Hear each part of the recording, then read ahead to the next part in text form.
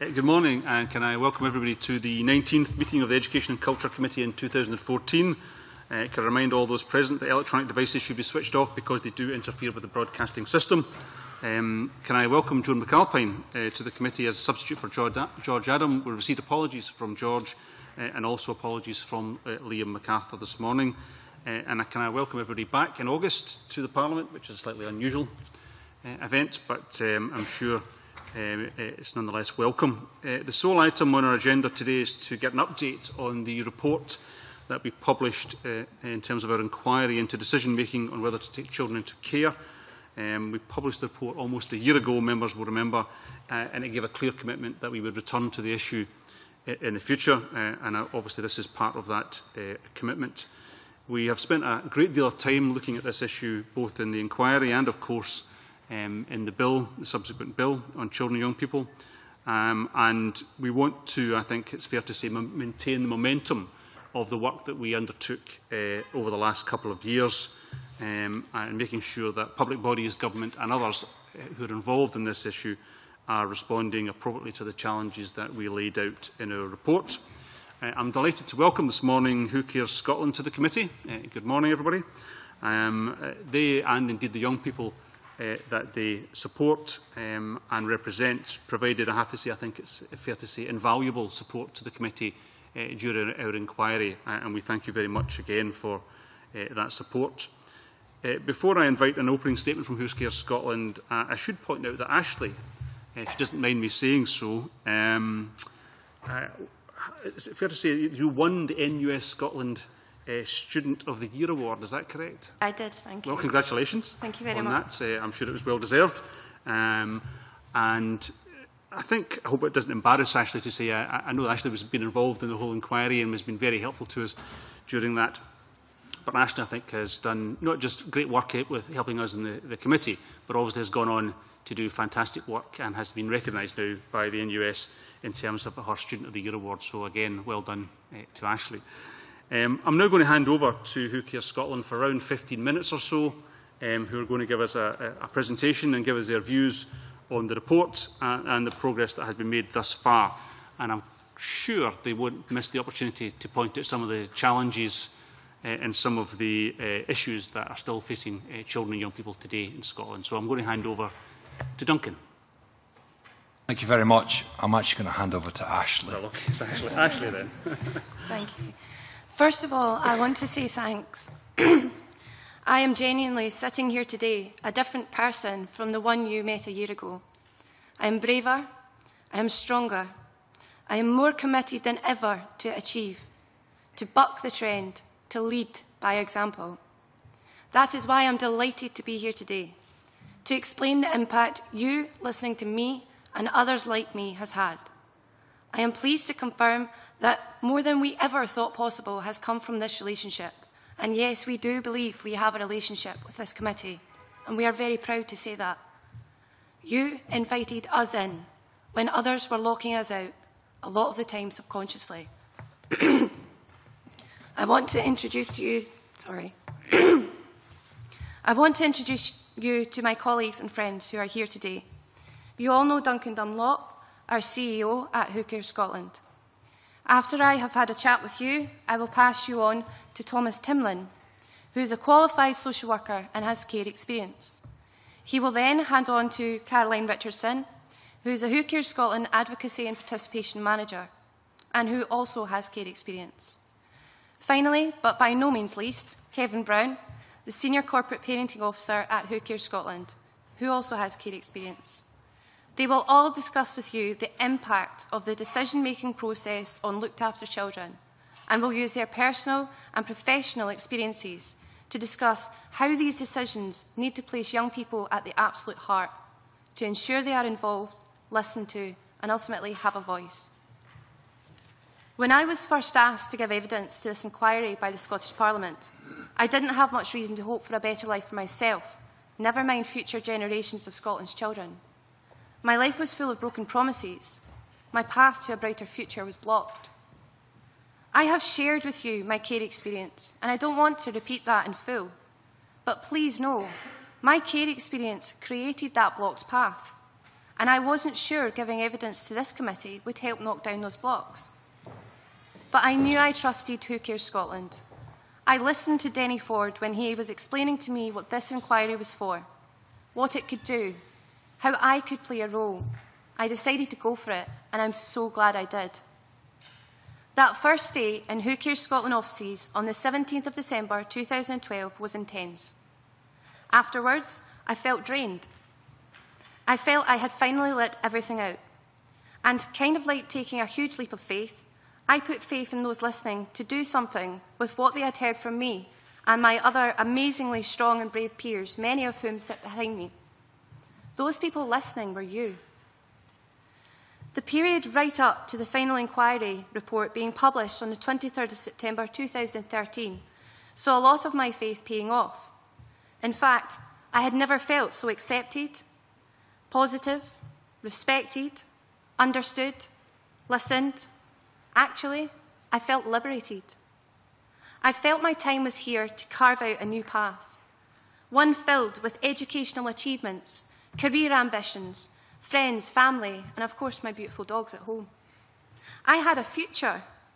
Not only was I and Scotland's children being listened to, but for the first time in my life, I started listening to myself. I managed with help the ups and downs of sharing me with this Parliament. Sometimes they made me feel sad, sore, emotional, and down. Saying it all out loud and bearing in mind, I was now listening to myself and starting to believe too.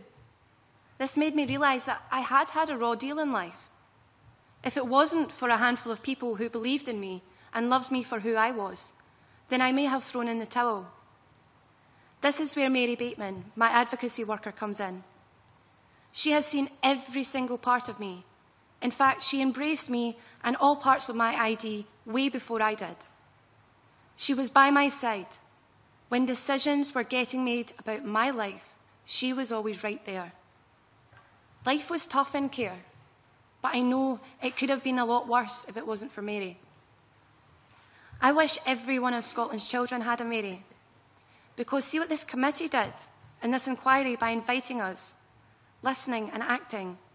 That's what Mary does every single day for children and young people just like me. She has no idea of the light and the love that she brings into my life. Let me give you a wee update on what I've achieved over the past year. And please know that if I had not started this conversation with this committee back in December 2012, I really am not sure I would be able to tell you what I'm about to. I started working with Who Cares Scotland, having taken advantage of a community jobs funded post which they had secured and I have loved it. I helped kickstart the national campaign asking Scotland to listen to looked after children. And now I'm one of the faces of that campaign, which has grown arms and legs.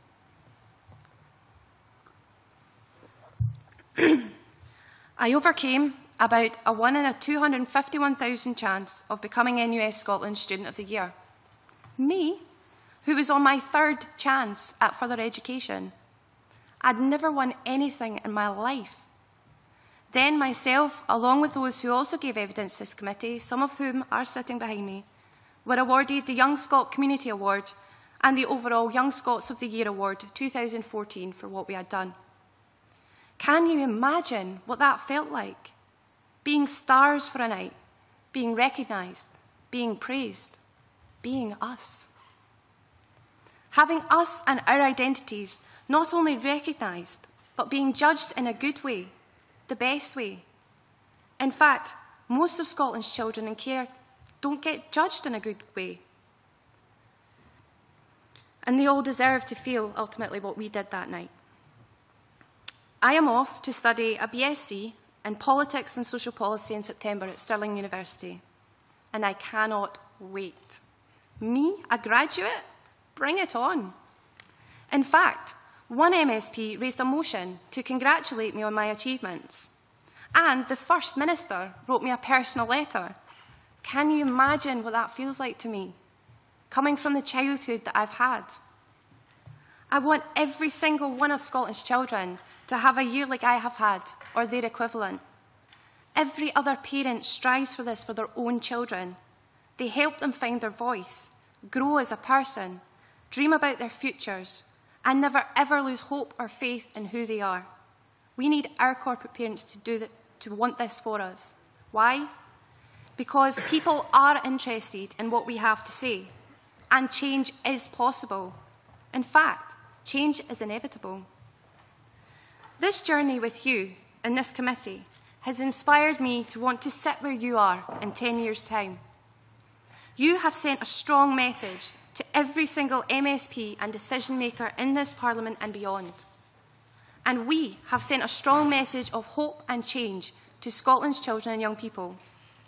To quote that famous phrase of past campaigners, nothing about us without us is for us. Because when you bring us in, include us from the absolute start, then we can do change together, with each other, guiding each other, using each other. That's democracy. And what we have seen with this inquiry is democracy in action. And I will do all I can to ensure it continues. I am now going to pass you on to Thomas Timlin, who will explain his consequences of not being involved in the decisions made in his life. Thank you. Thanks, Ashley. Good morning, ladies and gentlemen. My name is Thomas Timlin. A bit like Ashley, who you know, and Kevin and Caroline, who you will hear from, I could also be considered a successful care leaver. I am currently a development officer with Who Cares Scotland. I have graduated as a qualified social work practitioner in 2014 and was awarded the Munson Trophy from the University of the, of the West of Scotland. During my time with Who Cares Scotland, whilst providing advocacy for individuals and groups, I have heard many young people share their experiences with others. In doing so, they have challenged oppression, inspired change, and found their voice. This led to the most important changes in the law for over a generation. That's why being involved in decision making matters, and it is why, in turn, I am here to share my experiences. Because throughout my time in care, I was not included in decisions that were made about me. For many young people, what happened in this committee was unique. It was the first time they felt they had been actively listened to. This committee legitimised the care identity. The experience was an empowering one, but not just for those who met with you. I was empowered too, and it is why I'm here today. I wanted you to know that your actions went much further than in this room.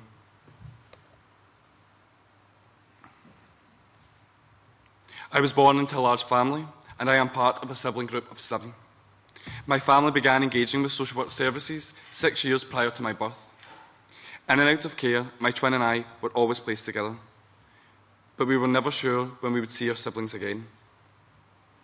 From birth, I was used, I was used to moving backwards and forwards, from a formal care placement to back home with my birth parents.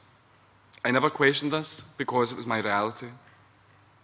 My reality was also social workers coming in and out of the family home, and my time with parents abruptly coming to an end. Sometimes because neighbours would hear my mum and dad trashing the place. Sometimes because social workers would find us in carrier bags instead of nappies. Sometimes because my parents had taken to squatting in order to get us a house with a back and front door. My life was full of change, and I don't remember being asked what I wanted. Life was a mixture of new foster families, new schools, and new cultures. Once accommodated, I would not see my parents for several months. I wouldn't see my brothers and sisters, and I knew, wouldn't know where I was going. My longest foster placement lasted for around three years. From the age of three until just before I was seven.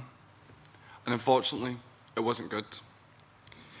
In 2013, after I was required to give evidence in court for two full days, my foster mother was found guilty of abuse towards other young people and myself. The experience was traumatic, and I had to relive my childhood with certain aspects being labelled during the trial.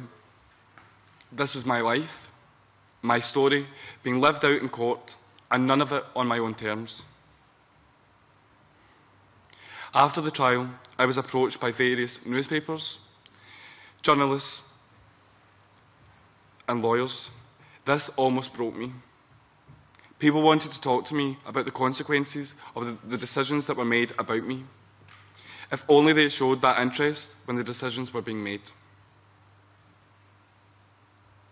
After the sheriff found my foster mother guilty, he stated that the conditions and I and the other young people described during evidence would match a Dickensian description for life for deprived Victorian children. The care system and everyone involved in it told me that life with my birth parents was wrong. So I assumed that where they were putting me would be right. Unfortunately, it was those Dickensian conditions that became my new reality. Now, at the age of seven, I might not have been able to articulate what was going on. At such a young age, I was not even able to identify that the way I was being treated was unfair, never mind criminal. But if I had had someone that I had a relationship with whose only obligation was to me, perhaps things would have turned out differently. Look, I wasn't a bad child. I didn't ask, and I didn't deserve any of this. No one does. My belief at the time was that I was being treated in a particular way because of me, who I was, and because of something that I was doing. The belief I held was completely wrong. I was not a bad child, and my social workers, my social work record, sorry, continually described me as a young child who was eager to please everyone.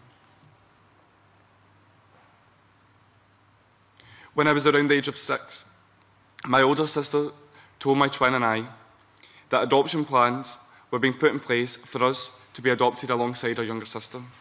We were to be adopted together. I remember my twin and I running around the living room. I was ecstatic. I was going to get a real proper family, something I had never experienced. I was finally going to get things that I could say belonged to me a home, a mum, a dad, just a family. What I don't remember, however, is being asked whether I wanted to be adopted or being given any choice. The day I had to say goodbye to my biological mother was the saddest day of my life so far. I can still feel that pain talking about it today.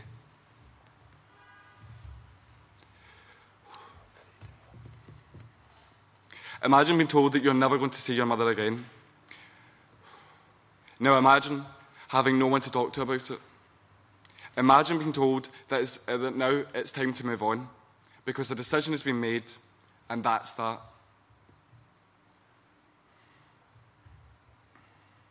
Unfortunately, contact with my other siblings did not continue either, despite all of us being promised that we would always get to see each other.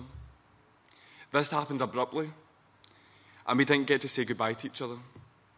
It just stopped. No one asked what I wanted. We just didn't get to see them for what we thought would be forever. There was no one to make sure I had a voice. At times, life with my adoptive family was challenging. And unfortunately, I can't offer this committee a happy ending.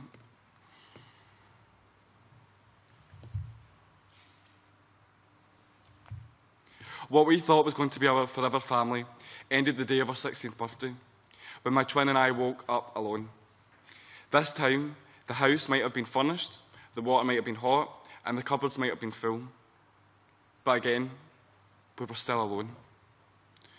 For my younger sister, who was under the age of 16, another placement move was on the horizon. For my brother and I, our care journey ended with us sleeping by psychopaths and in railway stations.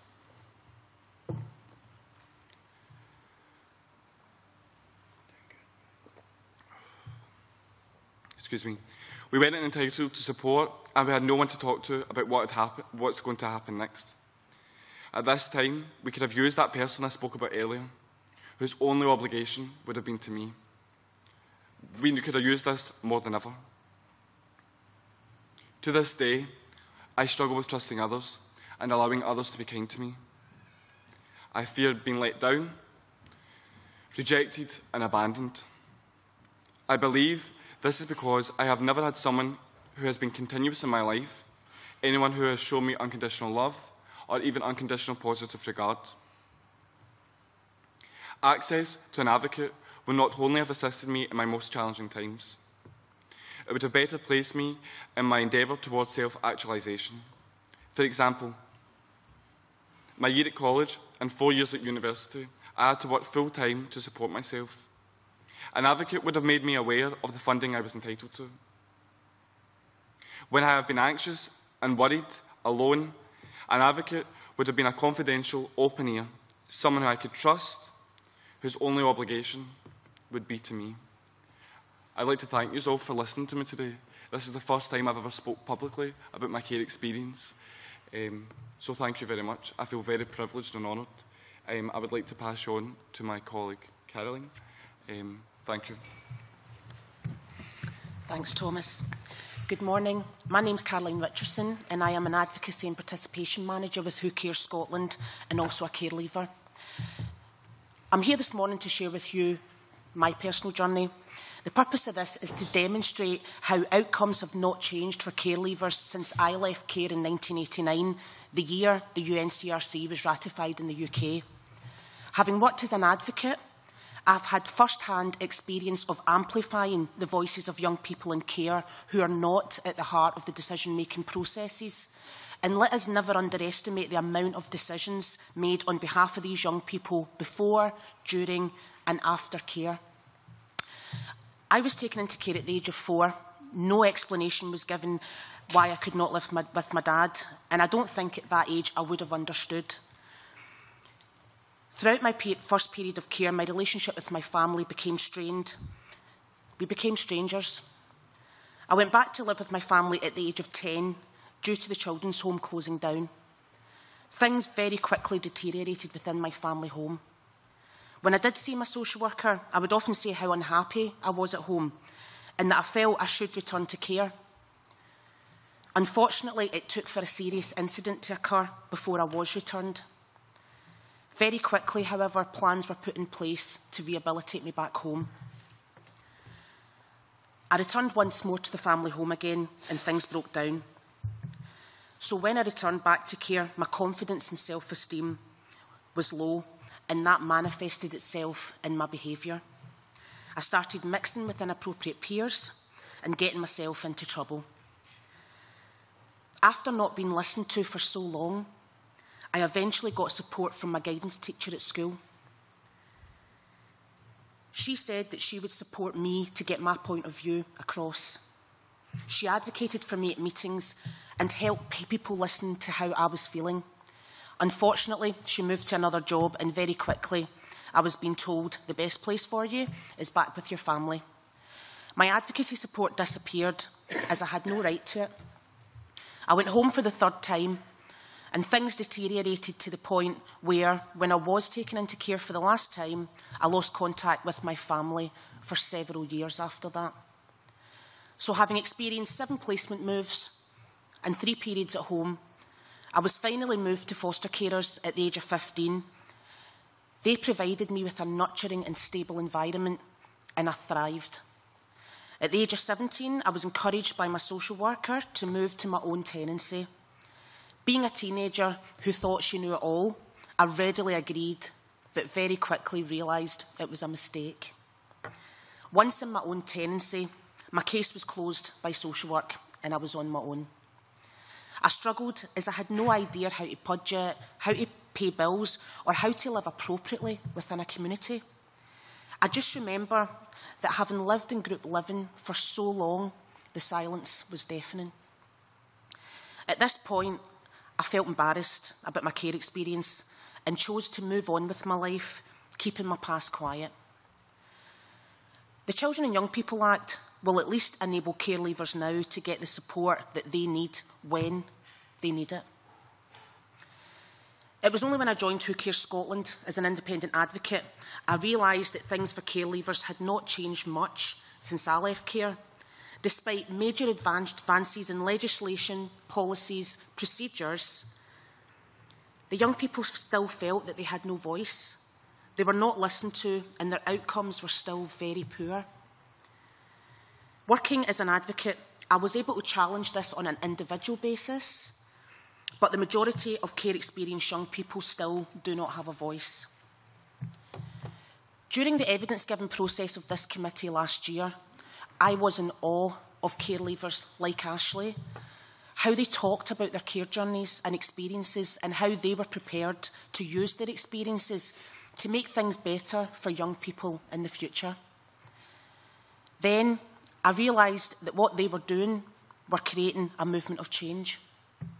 They instilled in me a sense of pride in my care experience, which is why I now have the confidence to share this with you today. It was through this process that care leavers who shared their stories contributed to the changes in support for care leavers up to the age of 26 now contained within the Children and Young People's Act. And this will go a long way to improving outcomes for young people and care leavers in the future. Thank you. I would now like to pass you on to my colleague Kevin. Thanks. Thanks, Caroline. Um, my name's Kevin Brown, and like the others, I'm here today because I've got care experience. But all, I'm also a graduate, I'm a safeguarder, I've travelled the world, I've worked as an advocate, the same as Caroline, and in my earlier career I spent four years working at the Office of Scotland's Commissioner for Children and Young People. So all of this personal and professional experience has enabled me to develop a deep sense, um, a deep understanding of children's rights and the issues which affect looked after children.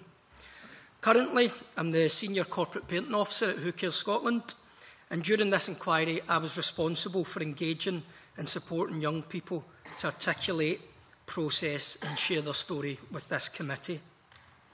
I myself was struck as to how little children and young people understood about their life, why decisions had been made, and the lack, their lack of involvement.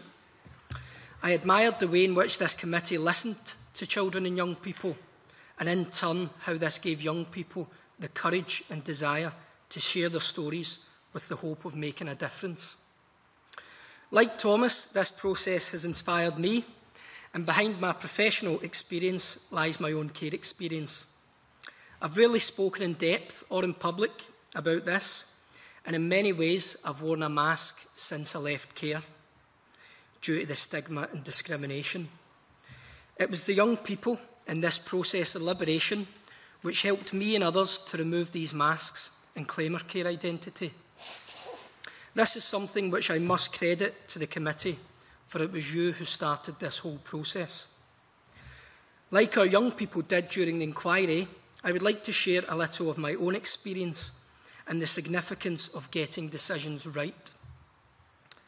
Similar to the others, a decision was made to take me into care at the age of three. During my care journey, I was separated from my brothers and sister, who was adopted and I didn't see for 13 years.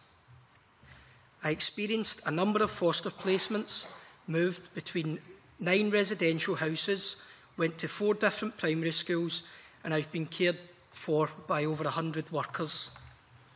And behind each of these moves, there was a decision. Decisions which changed, shaped, and impacted on me, my brothers, and my sister. And I'd like to share one of these with you. My two younger brothers, sorry, my two brothers were looked after from an early age, like myself, and both had left care before they were 16. A decision was made to return them home, and this, of course, broke down. At 16, they had little to no support, and it resulted in both of them experiencing homelessness and isolation. My oldest brother, Paul Brown, experienced mental health issues and hung himself at the age of 18. Five years later, my younger brother, Andrew Brown, overdosed on drugs at the age of 18. Two massive and life changing decisions were made five years apart, yet they had the same outcome in the form of my two brothers dying. On one hand, on the other hand, sorry, I left care at the age of 18.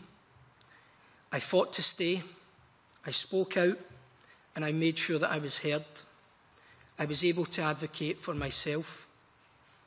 A few months ago, I wrote a personal letter to Aileen Campbell, the Children's Minister, to thank her for the difference that I believe the provisions within the Children and Young People Act will make and the added protection it should give young people in the form of continuing care. Why did I do this? Well, because I know more than anyone else in this room what the real impact and the, what the real impact and consequences of making poor decisions can lead to. Whether it's children remaining at home too long making decisions to send them back home, or whether it's deciding that they have to leave care at a young age. I don't know how I managed to become what people may describe as a successful care leaver, but what I do know is that I had advocacy at a young age, from the age of nine. This is when I started to understand my rights and found my voice. So, what are the challenges that exist today?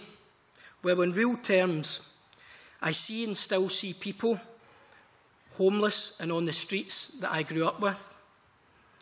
And I have worked as an advocate with the children of people who I lived with. I always ask myself, where was their voice? Did they have one? Four weeks ago, I graduated from Strathclyde University, where I completed a degree in education and social services. My childhood and youth advocate, Ray McLean, was one of the people who I invited to celebrate this alongside me. I also invited my younger brother's foster family, Marion and Ed Crangle, as well as Tony MacDonald, a young person with care experience employed at Who Cares Scotland, because I wanted him and other young people with care experience to know that they can go to university and they, they can achieve their ambitions, whatever these may be. I'd like to thank the committee for the, the way that they've listened to children and young people, and I believe the independence of this committee is a massive strength. It's my personal and professional view that all young people should have a right to independent advocacy to make sure that their voice is heard in all decisions. I know that my two brothers would have benefited from this, and so would the thousands of young people who don't currently have this in Scotland. And just for a final kind of overall conclusion, you've heard from Ashley, Caroline, Thomas and myself today, and we're all recommending the same. Young people need to be heard. They need to know that someone will be by their side when every single decision is being made and not just at the point of entering the care system. That someone must be separate from the systems and structures which govern the care system, truly independent. The consequences of good and bad decision making is clear. You know it, and we know it. We thank you for listening. Thank you for welcoming us back, and would now be pleased to answer any questions you may have. Uh, thank you very much, uh, Kevin. Um, can I, uh, certainly on behalf of the committee, thank all of you who've spoken this morning. I know it can't have been easy to have done so. Uh, these are difficult stories. Um, but can I before I bring in my colleagues, can I ask a question about process? You raised the issue of process. Um, we, as a committee, took a decision um, before we started the inquiry to take evidence in a slightly different fashion than we normally would. Normally we would call for evidence, we would bring people in front of the committee like this in a formal session with everything being recorded and written down. That would be the normal process. Um, but we decided to do it slightly differently, as you'll remember. Um, and we, we, we met you, as you mentioned, um, in, in the Who Cares Scotland offices in Glasgow um, on a rather wet December day, if I remember rightly. Um, and uh, from there took us, we tried to take you and us, I think, through a process which would maximise your ability to give us the maximum amount of information and in input, but would allow us to get the maximum out of your evidence, um, and we felt that that was done differently from the normal process of evidence taking. What I want to ask is um, what, how you think, how you thought that went as a process, because that was the first time this committee had done it, and I don't think any other committee has done it that way before. So I'd like to know how you felt that went, um, what was good about it, and what was bad about it, and what mistakes did we make, um, because we want to try and learn from this experience as a committee um, about what, how we can best um, approach young people, particularly who are vulnerable or, or in care or who have got difficult stories and different ex difficult experiences that can be very traumatic for them to relay to effectively who are a group of, a group of strangers. Um, so if you could maybe try and give us some of your thoughts on the process that we undertook so that we can learn uh, from your view, your view of that process how you thought it went. Sorry. Well, um, as I said um, just there, um, one of the things I really loved about this evidence given was the fact that um, you know you came into our space first and got to know us as people, um, which a lot of other people may not take the time to do. They may just go, well, tell us, and then we'll go away. Um, so I think that was the first thing that you know that you came into our space rather than us coming to you, because um, obviously it can be very daunting to to share your your care experiences. Um, it felt quite strange during the first evidence giving because you're not really sure of where it's going to go or you know what the, what any of you are going to take away from it ultimately. Um, but at the end, it felt very good to have that release if you like, because as I mentioned, it was our first time speaking about before care experiences. Um, so a lot of those emotions were still quite raw. Um, but I do think overall it was very well done in terms of you know the, the, the key points as to when when it all happened. Um, but I think ultimately it's, it's confirmed that what we're doing is right in terms of we're doing this to change the bigger picture. We're not doing it to change things for ourselves as individuals. Um, so, yeah. Okay, thank you. Does anybody else want to comment on the process? No. Yes, Kevin. Yep. Um, I would say that for me, supporting uh, the young people, I, I felt the process was excellent. And what we found in kind of a, a, an analysis afterwards, um, and, and it came up during the process, was that It wasn't necessarily the way, the way in which it was done was excellent um, because we've got relationships with young people um, which secured their interest in giving evidence and we used that um, in the right way so that they could share it with yous for the purposes of the inquiry. But what, what we found where the learning was, was the majority of young people, if not all, it was astounding the lack of life story work that they had actually done. So what we found is that they had questions about their life that were unanswered for years, and that when we started to explore given evidence and we'd done the preparation sessions, they were discovering things about themselves. They were finding out things uh, from other young people about their kind of rights and what they could do and when decisions are made. And for some people, there was just a complete lack of understanding. And the majority of young people had not talked about their before care experience. So the learning for us is that professionals, social workers, whoever is supporting the young people, foster carers, need to be doing more life story work with young people because it came to a stage where some people were 18, 19, 20 and they didn't understand their life before care. And that was a process that we helped them with, but they also needed support from. So that was a kind of key learning for us. Thank you very much for that. Um, Colin, is this supplementary on this issue or is it moving on? It's, it's different. It's yes. different. Well, I'll bring in Mary first then. Mary. Well, thank you. Can I associate myself with the comments uh, of the uh, convener? I wasn't on the committee to hear all the evidence. I've only been here since March, but I totally agree with you. And if we don't listen to you, we're never going to get it right. And I'd like to thank everyone. I appreciate it wasn't easy to uh, to give the evidence, but thank you. Uh, can I just sort of take this forward a step, although it might be a bit early? Uh, to me, the big challenge is now about implementation. You've been very complimentary about the committee, and we've got a very good Children and Young People Act. And I wonder if I can just take a step forward because uh, I think it was, uh, Kevin, you said the systems and structures that govern the care system. And I think it's fair to say that they need to change as well. And if I could just very briefly kind of... Um, uh, when we spoke to a relatively small number of young people, social workers must improve their communication skills.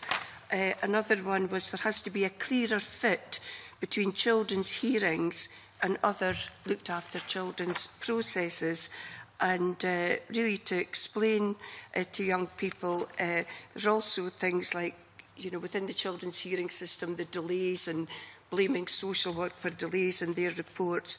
And I also understand that the social work degree is being changed so that prospective social workers are fully aware of the criticisms that you've made, to, uh, made today and to use them in a positive way to make these changes and also the constant change of social workers and I heard that impacting today. So my question is really, and I apologise if it's a bit too early, but you know, th the hope that you've got, do you feel confident that this act will bring about changes within the children's hearing system?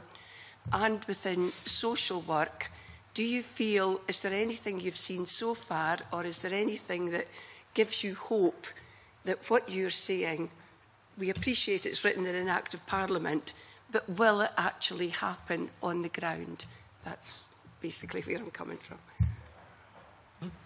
Um, I think from my point of view, um, going back to Christmas when we found out when when, about the Act and the kind of extension and aftercare and the provisions. Uh, I remember speaking to Duncan, and I said to Duncan that there was plenty of provisions within the 1995 Children's Scotland Act, and that young people um, were and currently are still being failed under the legislation that exists.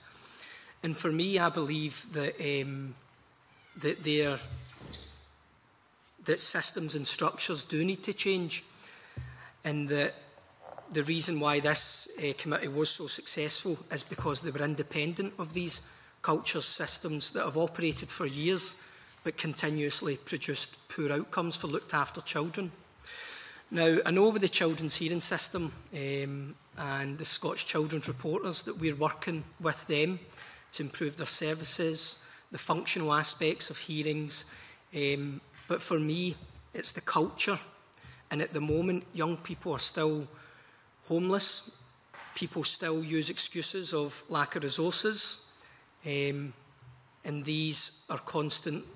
I, I believe that, the, that currently um, enough systems and structures haven't been changed, and it's the culture.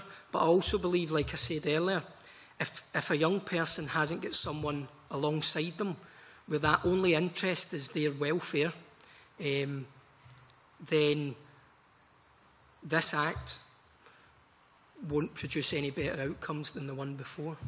Could I just ask a, a supplementary on that one?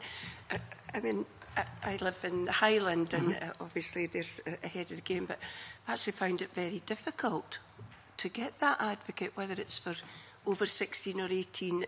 It's very, very difficult. And uh, are you confident that more resources and training? will go into advocacy because I think all of you, Ashley and Caroline and Thomas, you all spoke about that one-to-one -one help and support that gave you that voice. I mean, is that happening or? I don't, to be honest, I don't, I don't think it will because of the, the lack of resources that local authorities often uh, talk about. And unless it becomes a, a statutory right, uh, I don't think young people will get the advocacy provision that they need. In Sorry, terms of Kevin, who cares, can I ask, is there a duty to provide or is there a statutory right for each individual to have advocacy? Because there's a big difference there. My, my, my, my understanding is that there's no duty or statutory. There's no statutory yeah. right to have an advocacy worker. An independent advocacy. An independent yeah. advocacy worker. And for me, I think unless, um, unless that happens, yeah. and in some areas there's no advocacy provision, so, yeah. and in other areas there's maybe one and a half workers. So when I, when I was an advocate, it was me and half a worker for yeah. 3,500 young people. Yeah. Obviously, we didn't work with all of them, but um, that was the young people, the numbers who were looked after. So that's key to the success of this uh, piece of legislation? I believe it is, yes. And do you feel that the changes in the uh, uh SCRA and the Scottish hearing, uh, the children's hearing system, I appreciate they're not all bedded in yet, but do you feel that's moving in the right direction and uh, hopefully better uh, partnership with social work? Do you feel that, that culture is changing? Well, certainly from a professional perspective and working in partnership with these agencies, yes. there is a desire. Um, but also if you look at the fact that the majority of children's hearings take place between 9 and 5 when children are in school, yeah. you would then question Is it the culture that needs to change? Because we're still having hearings. Um, taking young people out of school has a massive impact, massive anxiety. And um, the latest stats have shown that young people, again in education, um, the, the, the, they've dipped again. So in terms of their positive destinations and things like that. So So, so there are improvements, but again, uh, I think it needs to happen at a wider level. We need to keep an eye on these measures. Thank you very much. Um, you said you're from the Highlands, and I think there was a pilot in the Highlands relating to the Act, and I think my understanding is that the Act is going to be um, putting the Gurfik policy into statute, and within Gurfik, um, the, well, the ecological framework of assessment, um, the young person's views are required to be taken into account. However, with the pressures on social work practitioners at the moment, um, I believe hinders their ability to be able to do that independently, especially when they are acting on what they perceive or what they analyse as being in the best interest of that young person. And I think what Ashley described in comparison to, what, to the service provision that I received was that there was some, someone there that the basis of their practice was relationship and that built that trust and relationship. And it was only when Ashley received someone who could, who she knew the only obligation wasn't to harm the line manager who was uh, dividing resources. It really was hard, and it was her that was directing it. Was then when um, our assessments of need were more accurate, and then the appropriate intervention was implemented. And that's why we believe that all young people in, in the care system in Scotland should have that universal right and a universal understanding of what advocacy is. Thank you. It- it- It's just, uh, just finished there, but as an MSP for the Highlands since 1999, you know, and I've had a lot of people in in the last month, and when I ask who's your named person, so that I can work with the named person, because I think that's important, and, and I haven't got any idea, and that's really where I'm coming from. It's the difference between what's on paper and the duty that we have as members of Parliament to make sure that that is implemented. But thank you all very much. Could, just while we're on advocacy, let's stick on that just now then. I mean, um, and I'll bring in Neil in one, one moment. Um, just from memory, it's the case that the legislation states that uh, young people's views must be taken into account, but it doesn't state how that must be done. That's the basic line. Okay, sorry. Neil. Um, yeah, in, in terms of, uh, can I thank you all for your, for your testimony again um, this morning? Um, in terms of advocacy, I think you've all kind of touched on that. I just wanted to know if you, you, your thoughts were, do you, do you think every young person should have advocacy or is it just, is it a specific group of young people? Um, what, what sort of role would you see it working as, as, as opposed to a child social worker? Um, body. Yeah. I think the role of an advocate is completely different from that of a social work practitioner. Um, a social work practitioner has an obligation to work in the best interest of that young person, but an advocate is there to provide information, support, um, and enable them to articulate their views. It adds an extra level of scrutiny onto practice and enables the young person to engage in processes which they tend to find quite difficult, which is like engaging and which is a world-leading children's hearing system. Um, and I, I genuinely believe that access to an advocate would enable others to reach more positive outcomes. Um, and I believe today we are here representing young people with care experience, and that's what we would believe that it be young people with care experience or those who um, engage with the hearing system that have that um, universal right. And I think similarly um, to those who suffer from poor mental health, there is a legal right um, and a universal right, and when they engage in legal processes, that they have access to an independent advocate. And I think when young people in care go through similar legal processes, I think it's only right that that, that universal right is extended to them. Does that make sense? I, I, I, yeah, I understand. Yeah, Thank I, you. I understand. Yeah, where from. Um, I th in terms of in terms of general uh, issues, in terms of children um, you know, looked after children being heard, and, and obviously we talked about what happened in the in the in the committee process, and um, generally as we move forward, obviously we've done that as part of the bill, as, as we move forward, how do um, local authorities and government best listen to, to young people more generally on, on, on, on kind of policy issues, do you think? Um, I think there's children's champions boards that have been set up in, certainly in, in, in Renfrewshire, and I, I don't know if anyone's got any contact, uh, comments on, on, on, on those and how effective they are and how, how, how moving forward we best um, listen to all the the thousands of looked after children that there are? There are um, champions boards in different local authorities in Scotland um, and they are spreading far and wide, which we are very happy to see. Um, I think a champions board gives young people and professionals a chance to meet on common ground. Um, not only that, not only just to discuss what's going wrong, but what is going right as well. Um, because I think it's, it's important that we identify both. Um, not just that, the young people are getting to know their corporate parents um, who you know, may represent them in many different forms. Um, but I think as well, um, from what I can gather from the different champions groups, particularly one in Dundee, there is a very much a sense of belonging, a sense of identity, a sense of growth and development, um, which is very encouraging to see. Um, and I would encourage any other local authority in Scotland that hasn't tried it to give it a go. Um, you won't know unless you try, as the saying goes. Um, and I'm very keen to promote the idea of a champions board. In, in, in terms of young people's identity, I think what the Champions Board, particularly like the Champions Board in Dundee, for example, has been able to achieve is something that a lot of care leavers say they lose when they're in that system is that their sense of community and their sense of identity within the community. And what the Champions Board actually does is empowers young people to actually take ownership again of their community. And that could be young people who, for whatever reason, have maybe not lived in their community for numerous years because of their care experience, but come back and actually want to find their voice again, want to, you know, be an active citizen. You know, I mean, things like that. You know, we talk about citizenship and a lot of the times, a lot of these young people don't get to experience that because they're moved from local authority to local authority, placement to placement. And I suppose for myself, it was like trying to re-engage again and trying to re-engage within a community and know how to do it appropriately. Things like the Champions Board gives the opportunity for young people to actually really do that again and to really take ownership and to be that active citizen that most of the other young people get the opportunity to be within their communities.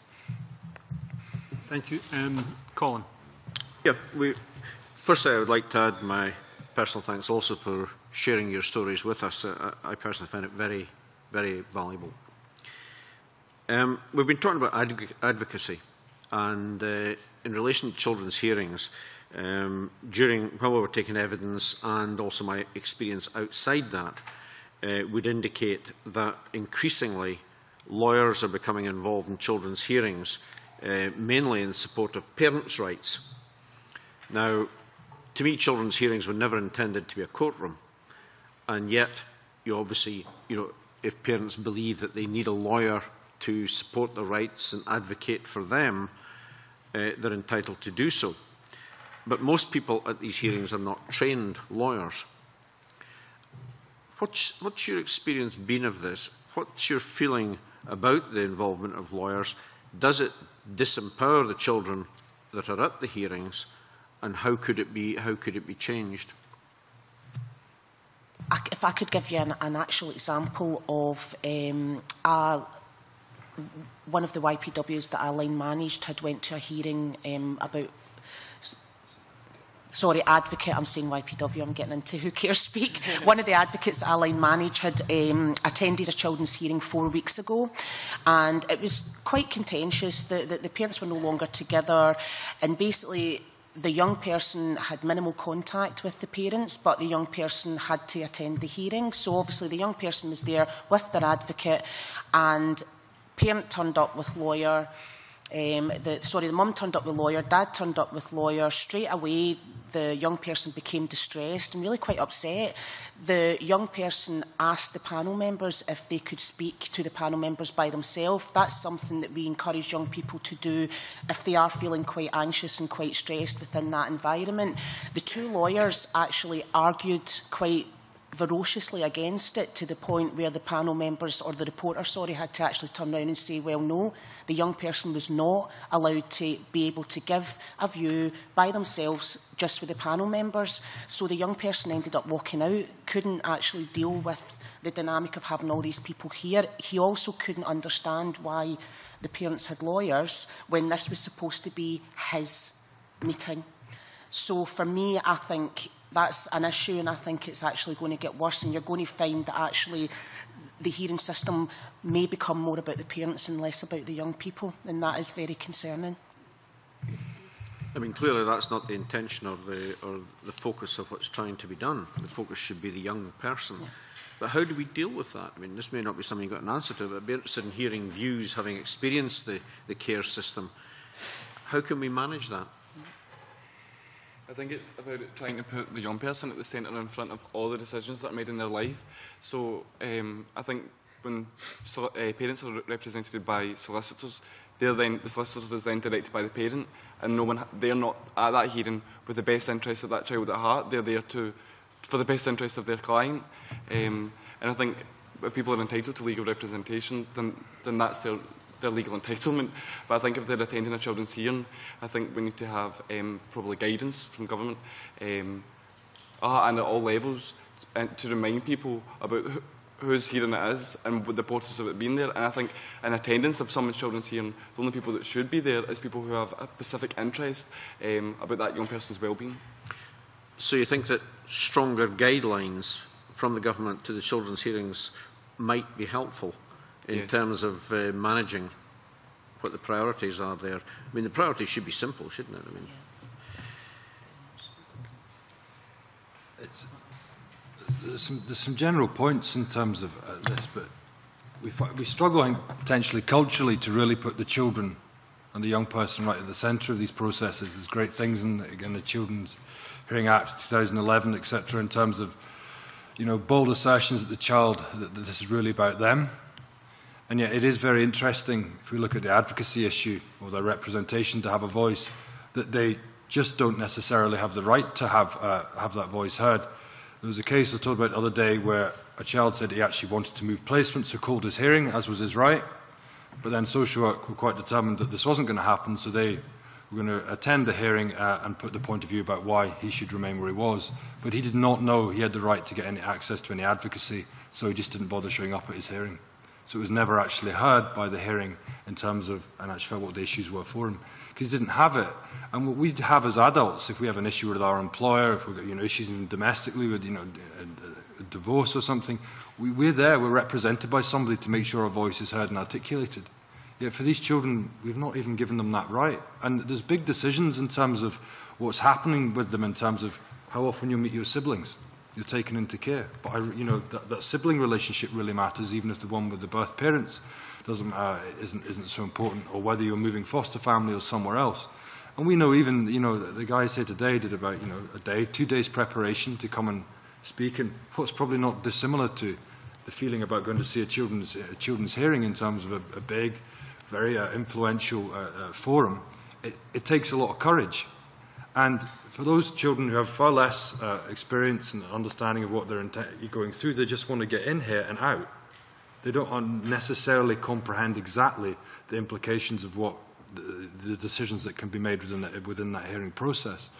But our biggest realization, and it really was, as, as the guys have alluded to, was um, what the process through talking about our care stories and our care journeys, mm uh, with this committee and with government and, and to a great degree with the public in general – is that we've reclaimed this care identity, and this is something people can belong to now. It's the same we've looked at very much within the issues around race, gender, sexuality. This, in the same sense, is an awakening of a movement which, you know, potentially by accident, we've kicked off together, uh, but it's really grown arms and legs. We've now had over 100 young people claim their care identity, got 40, over 40 plus who are now telling their care stories at a safe place and when its time is right. But we know that we probably only have access to about 15% of the looked after and care experienced young people in this country. And that's not for the want of trying, it's where a certain contract will only let us look at those young people who are in residential care in one area or have seven hours in another area. And it's not that somebody else is doing it in those areas, it just doesn't exist, or at best it will be a children's rights worker who's meant to be delivering that. So our learning is really, wow, look at the power and the benefit it gives to individuals when we give them a voice and when they feel as though they were included. And look what happened when it wasn't present. And, uh, and so what we're trying to say is, we're spending, was it 2.5 billion on a care system, and I know that's an estimate by government. We're spending probably about 0.1 to 0.15% of that budget in hearing the child's voice in this system. And what we know, what we've really come to realise is that this care system works. Anything else, we did it with disability, mental health, that we put the service user or the client or whatever, or the child at the centre. Like with self-directed support, which we're doing for a lot of other things, is saying, if you're at the centre of this, and we hear how you're experiencing this, you're the expert, then we can best define a service for you as an individual. And one guy who's in care, who's still going through a tough time, said, I remember asking the question, oh, what would you change in the care system? He goes, ah, but that's the problem. It's a care system, isn't it? But I'm an individual. Why don't I actually have a system that suits me, that suits Caroline, Ashley, Thomas, etc.? And it's not there because we don't give that voice. And it's great, corporate parenting in the Children and Young People's Act. It's great, some of the provisions to stay within the, in the care system. But that is the little bit which are those who are delivering their care services.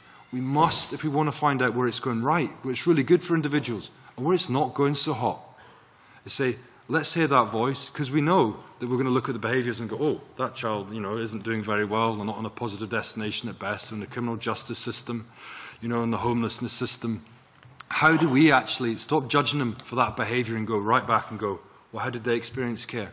Because it feels like a rejection by society. I was never heard, I don't get this, I don't fit in.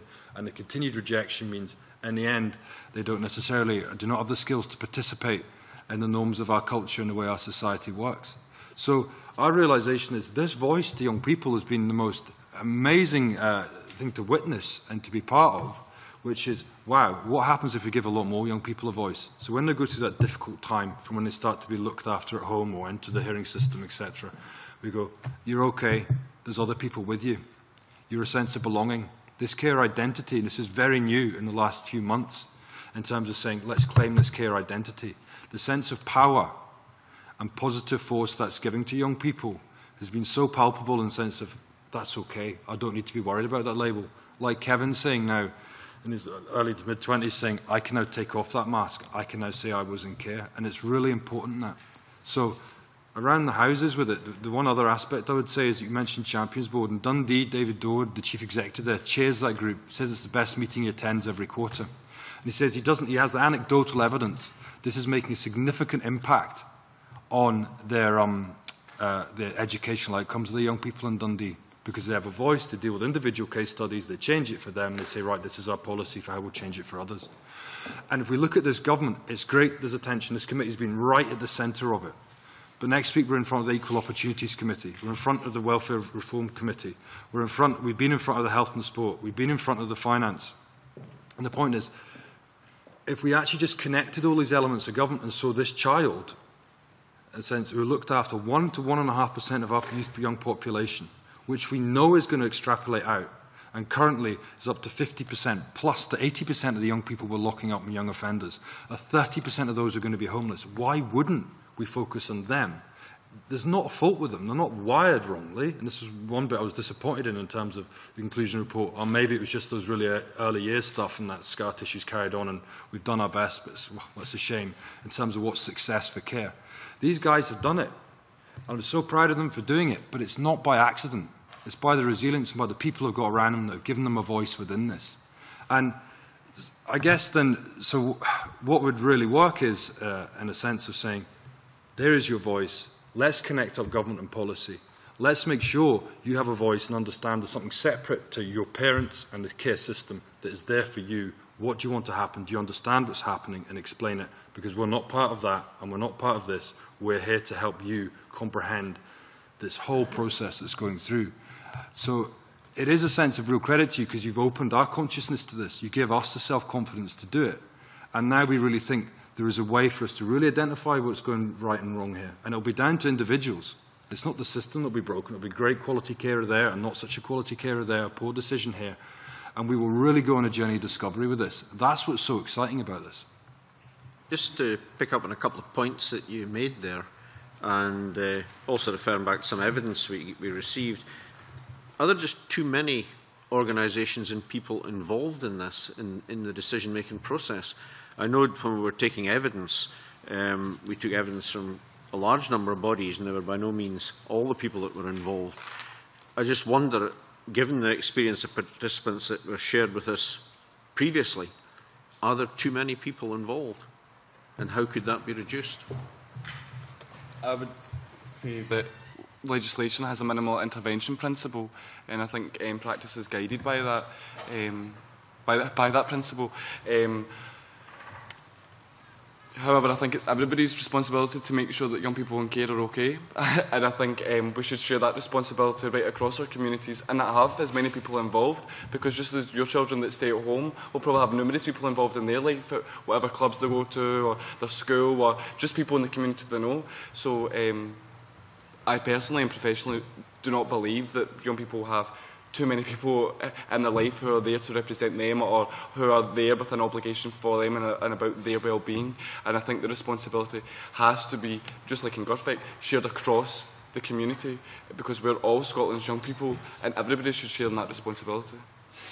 I also think it's probably, for me, it's more about how the agencies are involved. You know, do we have to have a young person sitting at a children's hearing with someone from education, someone from health, you know, someone from their local club, and have all these adults? You know, what about reports? And it's the same with um, looked after reviews as well. Do we need to have the cast of thousands sitting round, you know, and that young person in the middle feeling quite intimidated? Or could people not actually just do something as simple as submit a report. I think we need to be, I, I, I think Thomas is right in terms of it is good to have, I mean that is, Gerfec is having that, you know, support and the multi-agency support around a young person, but I think we need to look at how that support is actually given, you know, do, does there need to be a physical presence, presence? Is there other ways and other creative ways of actually enabling young people to take ownership of their meetings and not having all these adults, you know, having to physically be there? So I think for me, that's probably the challenge is to maybe just, you know, we, we have the building blocks there. We do need the multi-agency approach, but I think it's how we do it. I think I think could be changed better and actually, you know, and, and could have the young person more at the centre. The young person could have a choice who actually physically attends their meetings, you know. So I think we just need to be a wee bit more creative in terms of how that young person has control of what is their meetings, I think. Caroline, um, at the age of 13, 14, having attended, looked after reviews, um, there was always this lady in the corner that never really spoke. And I asked who she was, and it turns out she was the educational psychologist. And I said, Well, what's she doing here? I don't see her. And from that moment on, it was agreed that the educational psychologist would no longer attend my looked after reviews because she had no, no relationship with me, she had no input, she wouldn't come and see me at school. Um, she, there was no reason at all for her being there. Um, so I, I have to agree with Caroline. I think it's, it's, it's down to choice as well. Okay, thank you. Um, Joan. Actually, specifically on, on that issue of children's hearings, because one of the things that struck me uh, when we took evidence from the young people was an issue they raised about hearings, um, and they asked if it was possible in advance of the hearing to state what they wanted, and in particular, they were concerned about if they didn't want their parents present, if they could say that in advance rather than having to say it in front of the parents, where obviously the issue that Caroline raised is extremely concerning with the parents and the lawyers, but for these young people it was just to be able to put something in place in advance. I know that the hearing system is being reviewed. Is there any indication that that will happen? I think, yeah, as I said before, we are working um, with Children's here in Scotland um, and the Scottish Children's Reporters.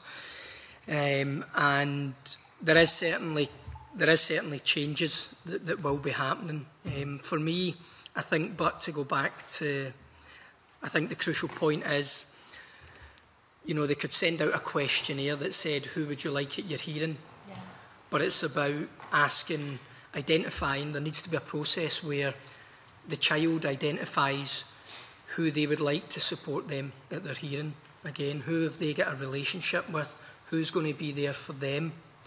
And that doesn't currently happen. What young people get is, um, is forms called All About Me uh, forms. And it asks them if they like the food, where they live, and quite functional things and I don't think it necessarily gets to the heart of why a young person's behaving a certain way, what's actually going on in their life, what support they need. Um, and I think it could be much more individualised, but it's about that young person identifying that person they had a relationship with mm -hmm. to help them and support them. Okay. And also another practical question, it's very apparent from what you've said about your own experiences and others' that the role of advocacy needs to be strengthened. Who are the best people to be advocates? I mean, I know people who work in the community as volunteer advocates, but do you think advocates need to be professional people or is it appropriate to have them as volunteers? Yes, because when if you go to something and work and it's your union representing you, it's going to be somebody that's going to either know what it is about your work or they're going to be professional themselves. And I think when we're asking for representation, we want to be represented as best as we possibly can be. Right. And I think we need to have someone who is qualified to do so, someone who comes from the same value base um, that we come from, um, to enable that we're properly and, and is represented as best as we possibly can be.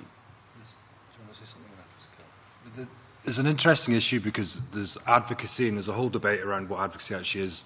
We believe for the children young people who are in the care system, are care experienced, they actually need relationship-based, professional, independent advocacy. Now, there's a continuum of advocacy. I'm not getting the detail of this uh, too much. But basically, if you want your foster mum to be your advocate, that's great. But there may well be a conflict of interest because the local authority wants to move you from that foster placement and go, well, the foster carer can't do it. So there needs to be a way and a mechanism whereby there is somebody potentially who's independent, who can deal and understand and interpret the process and procedure of the children's hearing that can uh, explain what's going to happen, when that occurs, who's there in the young person's terms. So in general, it does need to be more towards the professional end. We're looking far more at some of the group stuff, the peer-to-peer -peer type advocacy in terms of the connection. It's more the youth work element in terms of that's where they connect. Oh, you had that, you had this, where Kevin was saying the young people preparing to give evidence to you guys were suddenly understanding they could get access to care leavers grants or whatever else it might be. So there's some really informal stuff. But what we find is really interesting, we're doing quite an intensive review about this internally, is it could be, I want to change the colour of my bedroom, but I'm testing you. Can you help make that happen? Because now I'll tell you what I want to happen in my hearing. And now when I've got that relationship with you and I trust you, I want you to come along, then you can actually really help me represent my voice in terms of I want my sibling contact and I'm not getting it. Or I don't want to stay in this foster placement, I have big issues with it. So it is quite, it's interesting and resource-wise, we're certainly not about, uh, in terms of just creating this, an entire industry profession around it, it'd be quite nuanced, but they need to have access to that. And it can't be someone who just turns up at the day, meets you outside and go, oh, I'm your advocate for the day because again, that's another person there's no relationship with. The, the young person needs to, you know, advocate. What does it mean? It's very, you know, you have to explain that to them in terms of I'm not part of the social work system. You might feel as care is being done to you. I'm not part of your, your birth family system. I'm just here for you. That can take a bit of time to understand. And in the intensity of being in the process of the hearing and the anxiousness that can come, you don't meet them in the foyer. It needs to happen well before that. And of course, I would imagine that in terms of what you're saying, although you want a professional person, there also has to be the commitment to remain with the young person for a long period of time because lack of permanence in terms of the people that you contact are in contact with is a real issue, isn't it? Well, one thing we determine, because you can never actually determine whether someone will stick forever, we always hope they do. We have some very long-term advocates. Mary still with us. She was with Ashley over 10 years ago, still an advocate in that process. Is we were trying to give them, as an organisation, a relationship with Who Cares Scotland, so we look very much at the fact that you end, every with your care journey, you end and you transition and you move on to something. And we had it that you ended with Who Cares Scotland at the age of 25, but now with uh, support of Life Changes Trust and others, we're actually now looking to extend basically you, when you become, when you enter the care system, you can become a member of Who Cares Scotland. It's your organisation, it's your membership, and you don't leave it unless you want to until you die. Uh, so you can be in your 80s, you can be wherever you want, because this is where you belong. Your care experience defines you as having the right to belong to something forever. And that is where the relationship is therefore where they can connect with other guys. We're doing now a lot around connecting young people who've just been in care, because there's this whole issue of removing the labels and without the stigma of feeling judged. So they find it actually a really relaxing place and space to do that. Uh, to the same degree whereby someone want to go out publicly and champion and be in places like this and tell their stories, to just others saying, yeah, I'm a member of that, but I know others are doing that, and I'm really chuffed that that's happening. To the fact I've got a relationship with that advocate. So we know it's a wee bit more nuanced, but uh, currently the services are all about how we fix these young people, and not really about going at their pace in their journey. Because what we won't do, and we're really clear on, is ever deliver a care service. So we're not going to be opening a supported accommodation you know, in Leith or something, because then we're delivering a service they may well need advocacy. But they do need to belong to something. And this is where this care identity is so key that uh, has been released through this work. Thank you. Jane. That's convener. Um, and thanks to everybody for their contribution this morning. It's been um, quite humbling to listen to some of your contributions. Um, I just want to ask a little bit about advocacy. Um, in, in my role as a, an MSP, I, I've meet with young constituents and sometimes they have an advocate with them and sometimes they don't. And, and Thomas talked about how that changes the nature of the engagement. And I've certainly had that experience. It does change it if a young person's there with an advocate, I, I can't quite see how or why, but I know it does. So I think it's a good thing. Um, and I'm wondering uh, how we can deliver that because it seems to me it's a bit of a lottery. Sometimes a young person's got an advocate, sometimes they haven't, and I'm thinking, how does this all work? How, how do you get one? I don't know. Um, I completely take the point that they should be independent, but do you think Who's Care Scotland should have a lead role in that? How do we get that standard and that access to advocacy um, made more consistent across the country? How do we get the consistency in the leadership in taking that forward? So, also one thing, I mean, yeah, this becomes where we start, we're conflicted between speaking for young people and from an organisational perspective, but our major issue is We're conflicted in terms of our independence because we have to, if, where we have it, we have to have a contract with a local authority. And some just choose not to have it with anyone. So you're immediately, let's say any local authority, they commission you to deliver advocacy to speak up for the young person who's part of their care. It's already a problem. If a significant issue happened, it becomes, you know, that's potentially conflicted.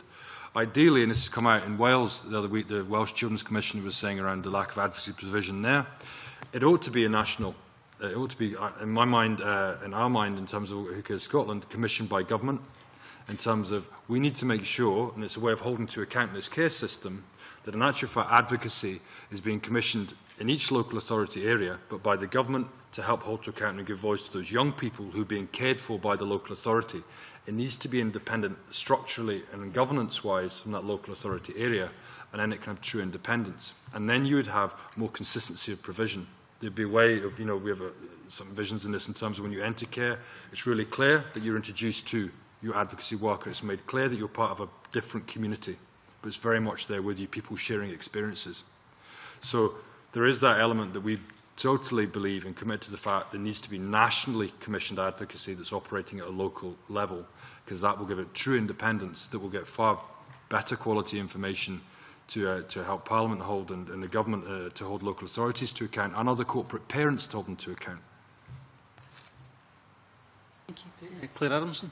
Um, uh, can I, I just thank you once again. I think, Thomas, you said it was a privilege and honour to be here. I, can, I say in this whole process, it's been a privilege and honour for me to work with the people at Who Cares Scotland. And thank you once again for informing our process um, today. Um, one of the, the things we did look at in uh, the, the, the course of the inquiry was about the decisions about permanence.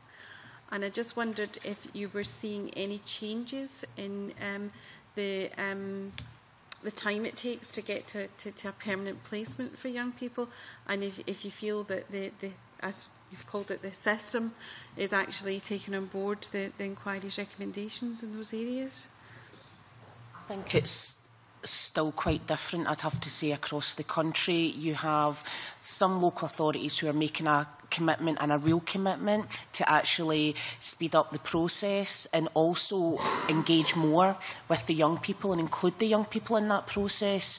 And we've certainly had an increase in referrals um, ac across the board asking for our, our advocates to support young people and just make sure that throughout the process that their views are being shared at every step of the way but it's still very much a lottery across the country. Um, some of our advocates have got cases where you know the, the, the permanence process gets to about the 11th, 12th month and actually it's still ongoing and there could be varying factors as to why it's taken so long but that young person still sitting there 12 months down the line when they'd been promised you know the forever family type and they still don't have it.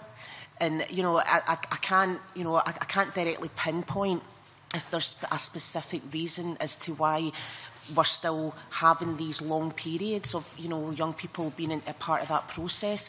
But it is there is areas that I can see that it is actually improving, and it's improving very much. And for me, that the key is to actually have the young person engaged and involved in the process right from the start.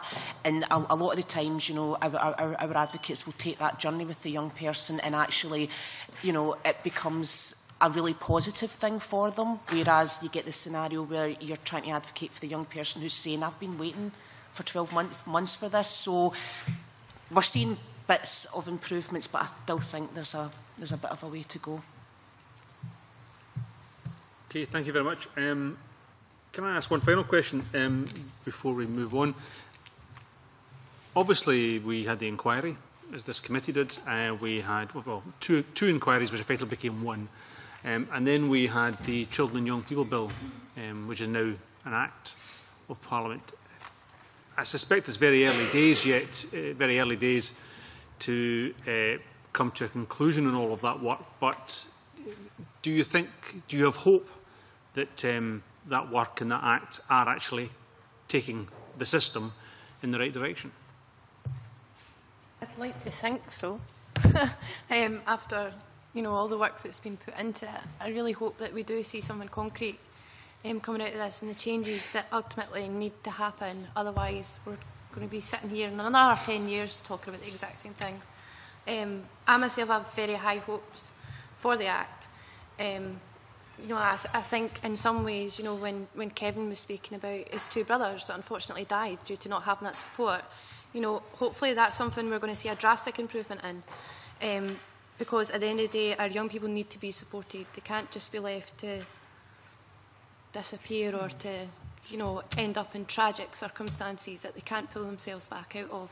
So I myself individually, I have extremely high hopes for this, for this act, and I, I hope in years' time when, you know, universities are offering their social policy courses, then we'll maybe hear about some work of the Children and Young People Scotland Act. So that's my view anyway. I, I, I would agree with Ashley. I mean, certainly my story demonstrated that actually the support for care leavers, I mean, that was 24 years ago and that actually nothing had changed. And I think what the Act allows corporate parents to do now is to actually think out the box and be a wee bit more creative. I know that people are worried about the impact that it will have or are we going to have 18 19 year olds in children's houses and you know that's the kind of thing that I'm hearing in varying local authorities just now and actually I don't think that'll be the case. If you ask an 18 or 19 year old, do they want to be in a children's house? No, I don't think they do. What it potentially will enable these 18 and 19 year olds and 20 year olds to have is continuity relationships. I think a lot of the young people that I've worked with over the years, if, if you ask them, you know, what you know what was the kind of positive parts of being in care? A lot of it is well I had this key worker called Joe and you know she was I had a brilliant relationship. She was absolutely fabulous. And if it wasn't for her I wouldn't have got this this and this. But then when, when I left the children's unit she wasn't allowed to work with me anymore. You know, this really allows for the Joes and for the other workers who are so dedicated and who do build relationships with these young people when they're actually within you know, eh, within the residential establishments, establishments to maybe continue it beyond. So to me, this is about innovation. It's about people thinking out the box. But more importantly, it's actually now about the care leavers being able to say, this is the kind of support that I want and actually have it tailored to their own individual needs also uh, eh, share Ashley and Caroline's views with the kind of hope and aspirations of the Act. I'd, in terms of, um, you know, currently there are challenges. We work with young people who um, have to fight for everything to get money to paint their flats, to get a bed, to get a microwave. And with the Act will come challenges. I hope people, local authorities, decision makers see it as a positive. Um, and that it will help young people to not have to fight for so much. So with the increase of entitlement, I would hope that there will be a change in the culture and that also instead of seeing people as stats or numbers um, on reports, people will get to know young people, will get to understand the real is issues that they're facing um, and that they'll implement the Act with young people um, and not for them. Not even to them. yeah. That's Thomas. To echo the sentiments of my colleagues here, and I think as a um, qualified practitioner, I found the Act to be, or I perceive that to be extremely empowering, and I think it's the beginning of putting young people at the centre and the forefront of whole everything of um, sorry service delivery in general, um, and I think being able to stay in your care placement and being encouraged to stay in your care placement until you're ready to move on and, and do that transition into independent living um, is literally something that could be life-saving to someone. Um, and hopefully we will begin to see more of Scotland's young people achieving positive outcomes. I'm one of seven, and not all of my, my siblings have managed to achieve positive outcomes. Um, and I'd just like to see more people being empowered to do the same as me. Thank you. Duncan. I, yeah, it's a, it was a really positive moment. For me, the, the, the biggest issue was It sounds like interesting language. What was kind of happening with this? Because I remember sitting in the, in the Parliament on February the 19th when this was passed through several hours of the debate. And the one issue that there wasn't a pinheaded difference on across political parties, and this really said it for us, was, was on this issue about raising the age of leaving care. Because you all said you'd listen to the young person's voice. And that for me was it. We, we've known this, well, we haven't known, we've lived with this issue for generations in terms of poor outcomes of children we're actually spending a huge amount of money on in the sense of, finally it seemed to be a sense of, ah, this is what we've heard from them. Here is a solution. We look after them for longer. If it is with long, we're aiming to get them in long-term, trusting, loving, stable relationships. That's where the key is. How do we make sure they're within that? There's big challenges in this. What's the culture? Or how can I get away with implementing this in terms of what comes out in guidance? Can I turn, change the name of a homeless accommodation into supported accommodation? That won't work. But some of that stuff might happen. This is where we need to be right on top of it in terms of scrutinising how this is actually implemented. There's big challenges which none of us have come up with the answer with yet, which in terms of how do we do return to care. The intention was there, but we didn't have the blueprint. That needs to be followed through because those to a degree are the most vulnerable. Leaving at 16, yeah, I can conquer the world and realising two or three months later I can't, but I can't get back in because my bed's gone in that unit. So in that residential house. So there's huge challenges. But for me, what's really happened and it's, really worth knowing, we've had people from Scandinavia to New Zealand, etc., looking at what's happened around this care identity saying, they've kind of lifted the lid on something there and we can't put it back on in terms of it's such a positive force. How have you done that? You're embracing a care identity. And along with what I was so chuffed to see with you know, parliamentarians getting this issue, understanding, yeah, right, this is maybe a solution to this, is seeing what these guys have done and real credit. Uh, I'm so proud of them in terms of them telling the stories and taking ownership of this because it's going to places not many of us would ever talk about in terms of telling the stories and helping us understand their lives so we can make better change. Because what we really want to see is to stop judging their behaviour, but to see that as, ah, oh, we got something wrong there. How do we get it right? So great optimism with the app, but we're going to have to keep our eye on it. I think that's a good place to, to, to sum up that uh, this, this committee's made a commitment, though, to, to do just that. Uh, hopefully do slightly more than just keep an eye on it, but uh, um, uh, I think we share the, uh, uh, we have a shared outcome in mind. Um, and uh, both you and this committee, well, I'm sure, will carry on working towards that shared outcome um, with many challenges ahead, I'm sure, um, but hopefully with some optimism as well. Can I thank you once again on behalf of the committee of, for coming along this morning and giving your evidence. Next week we will take evidence from Scottish Government officials um, on the progress made on the inquiry to date. Um, and before I close the meeting, can I ask both the witness panel and the members of the committee to stay in place for a few minutes after the meeting? Thank you, and I close the meeting.